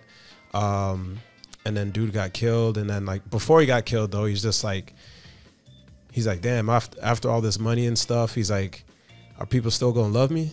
Are they still gonna show me the love? Yeah. Because it's like he's like, you can have all the money and stuff like that, but if no one's like really appreciating you, like, and no one's showing the love, is like, Ah, you know, you know, it's like the stuff. His boy gave him the money and all that stuff, but he wasn't in the limelight anymore because Mm. he was in jail and people kind of forgot about him and stuff like that. Mm. So it's like, yeah, it was just like there was a bunch of different aspects of it, but yeah, I just like, yeah, Yeah, you, yeah, you mentioned it paid in full twice. So Yeah. really like that so everyone have to check that one. Yeah. And then we have three people you mentioned. Mhm. Uh, I have no idea how to pronounce their names. All right, Fela Kuti. Fela Kuti. Yeah. So this is like if you think of like what Bob Marley is for like the Caribbean and Jamaica. Right, This right, is right. like um, who Fela is for Nigeria and Africa. Right. He was like more than so he's a musician 1st off, but he was way more than that. He's like a revolutionist.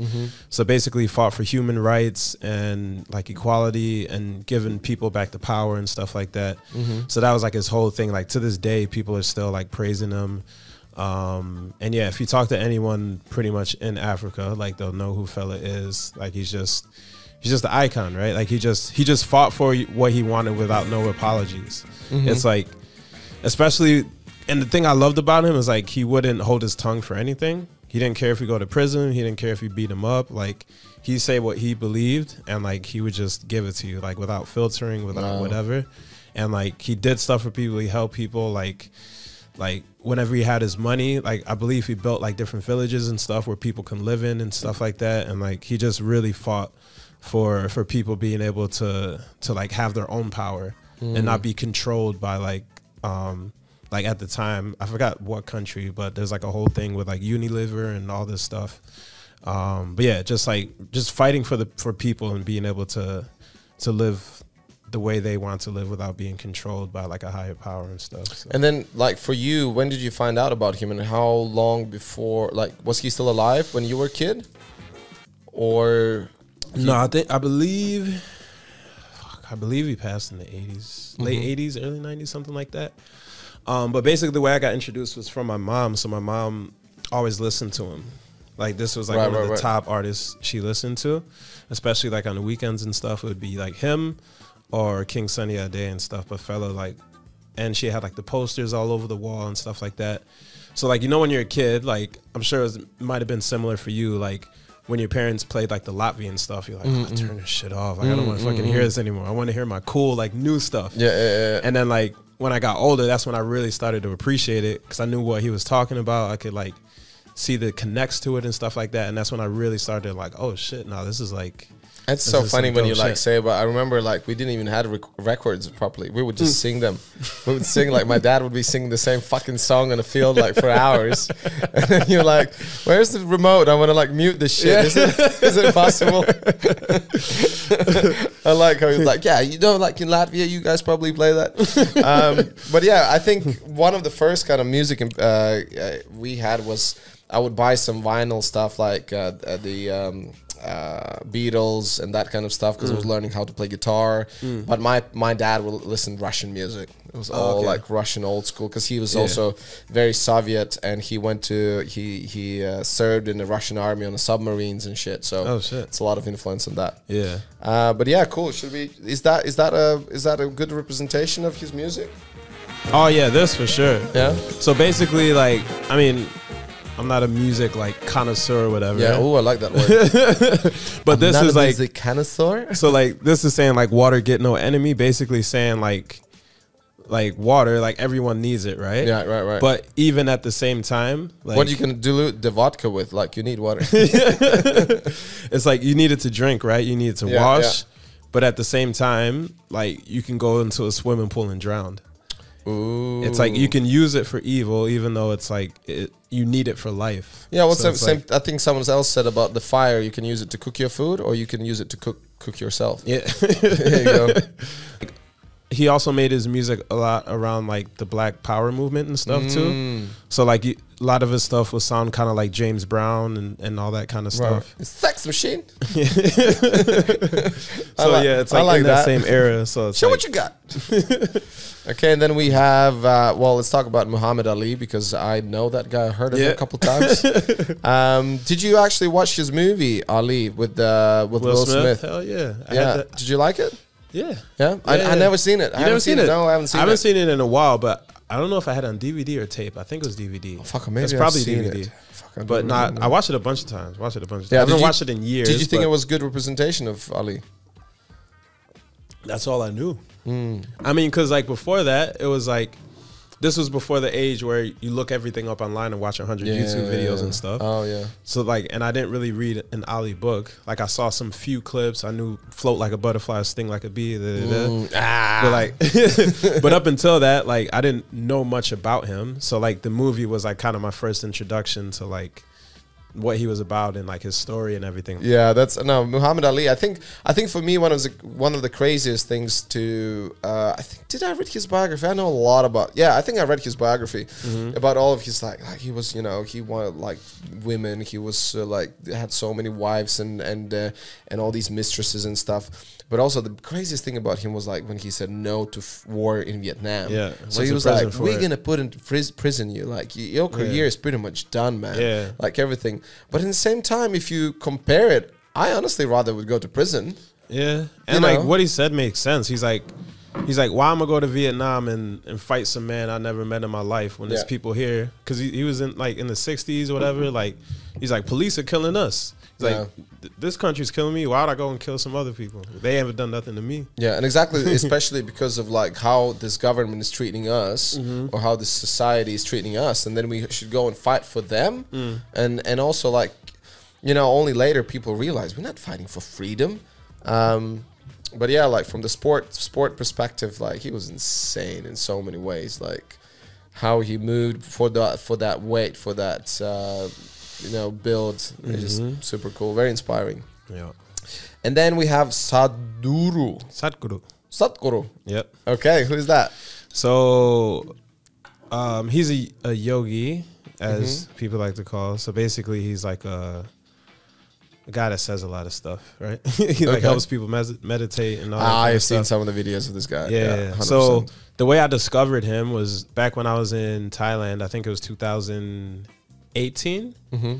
I asked. Uh, I was talking to my friend Jen, and then I asked her, I'm like, because she's like, "Oh, you should meditate," and I'm like, "How do you do it?" And she's like, "Oh, you just do it," and I'm like, "What?" She's like, "Yeah, just do it," and I'm like. So I'm like, obviously me, I'm like, all right, I go on YouTube. How do you meditate? Da, da, da, da, da, da. And this guy kept coming up, so I started watching his stuff. One of his biggest things is like being able to uh, admit that you don't know something. Oh shit. So it's like a lot of the times people are like, oh yeah, I, I know, I know this, or da, da, da, da, da, da.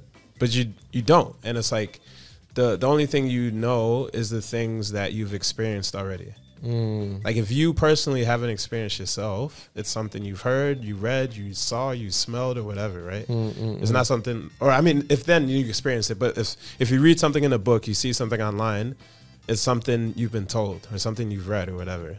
So it's like being able to admit that you don't know something gives you the possibility of like discovering things and finding out things and all that type of stuff.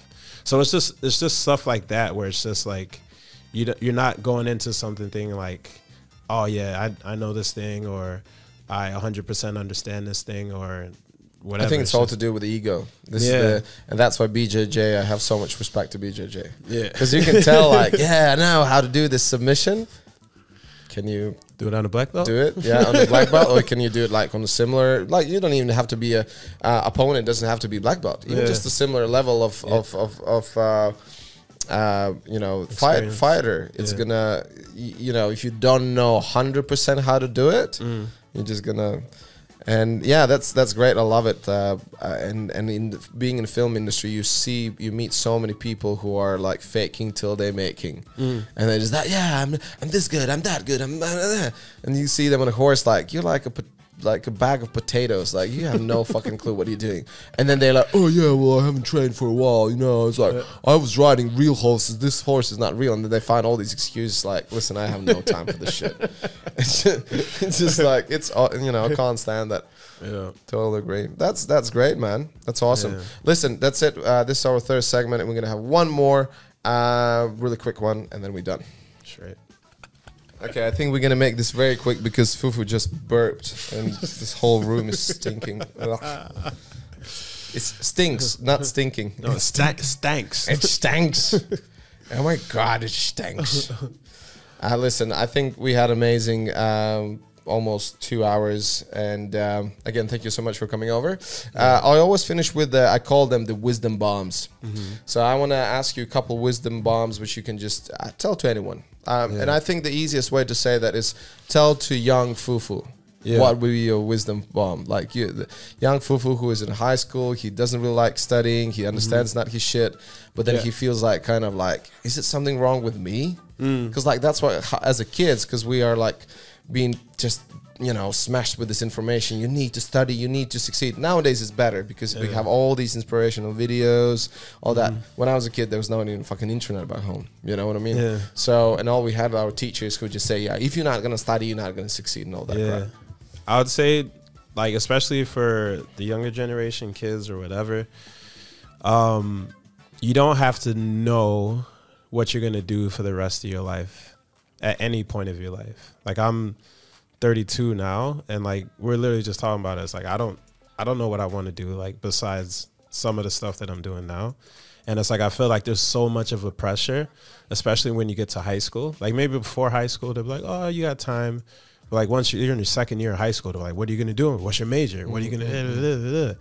And it's like it's like you're expected to know that you're gonna want to do this this thing for the rest of your life when you're like 16 years old.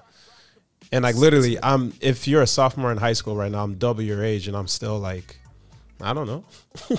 yeah, I don't know. Like no one's gonna really really know that. And even even if you think you know that, you can try that thing. You can do all the steps it takes to get there, but you might not like it. So I'd say like the biggest thing is like just trying different stuff. Like reading about stuff is cool and all that, but like as long as the stuff you're doing is legal and no one's getting hurt by it, like I would say just just go and try it. Like go and do whatever. Like even if it's something you kind of thought about, mm, just go and try it out. Porn, definitely. Hundred percent. Hey.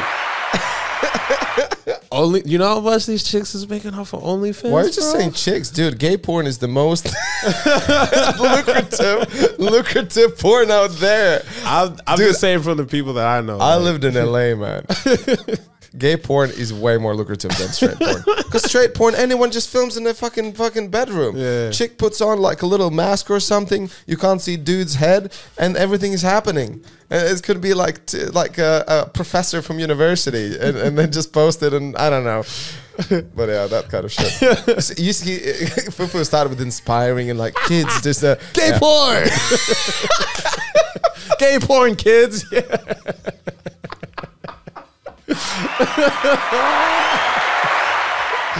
Oh, I'm so glad I don't have like a real, real job. Oh my like- god! I would love. I would love. This is gonna be posted as a separate little thing. It's gonna be a meme. Gay porn. I have like balloons and shit. yeah, yeah, yeah. Oh my god.